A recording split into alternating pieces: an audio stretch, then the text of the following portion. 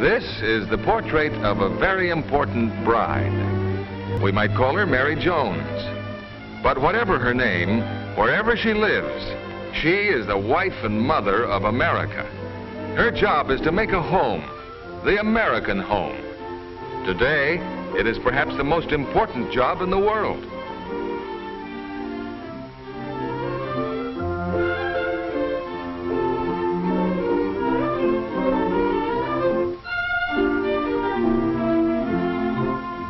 Every day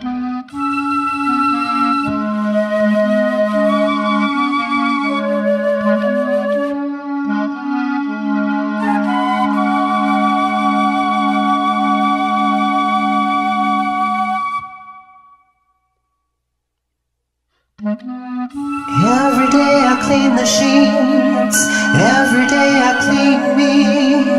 Picking up the things you left behind, your state of mind,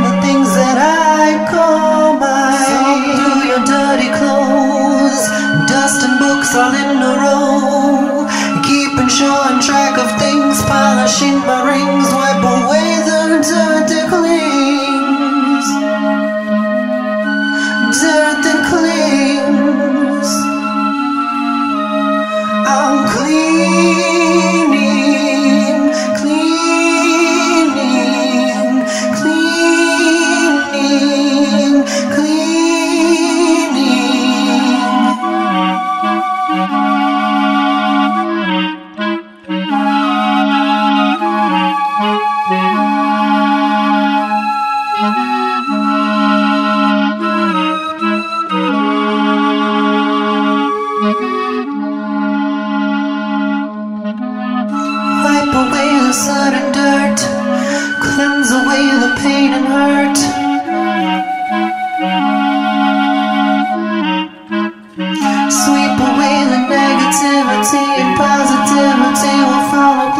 press my clear validity and what is covered in